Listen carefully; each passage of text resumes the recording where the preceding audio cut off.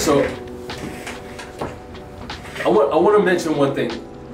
I, I- like I was literally I was literally literally just thinking about when I was talking about like the like the young guys, man, they should really take advantage. I was basically saying that young guys they should take advantage right now, right? And the reason being is because I I really know this to be true. People underestimate the time that it's actually going to take to get there, wherever there is for a person, right? They just underestimate the time that it's going to take to get there. And people need to take that into accountability, honestly.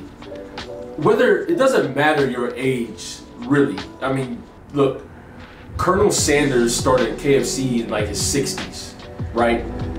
uh, Ray Kroc started McDonald's in his 50s. Okay? So it doesn't matter the age, but I think people underestimate the time and the work that is going to get there and the grit that is going to take to get there. And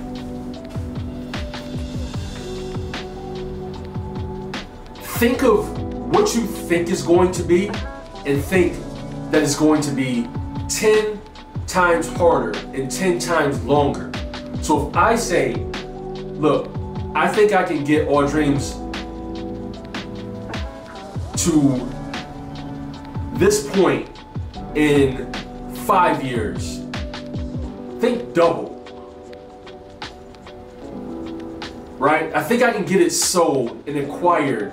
I can think I can exit out of All Dreams at such and such multiple in five years. But really, in the back of my mind, knowing business and knowing everything that can go wrong, it's really 10 years. So 44, I'm dialed in to this platform and this startup for 10 years. I'm ready for a 10 year run, but I'm also ready for a 20 year run if need be. So many different things can happen in between that time. Okay? But my mind is already preparing for a long, a long run, a long game.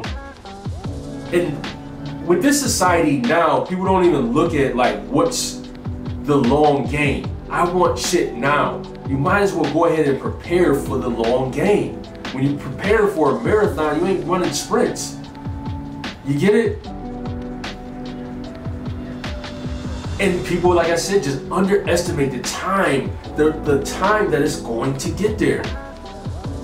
They say, hey, I'm 22, I have time. You don't. Oh, I'm 30, I have time. You don't. And I think the only, one of the only things that people think about is, okay, if I measure up with my peers, so if I have a house, I have a car, I have this, I have that, then I'm doing okay. But this is not for you. This is for the outlier. Doesn't give a fuck about that. Anybody can obtain those things, right? This is for the outlier. Say, oh, you know what? This shit might take 20 years.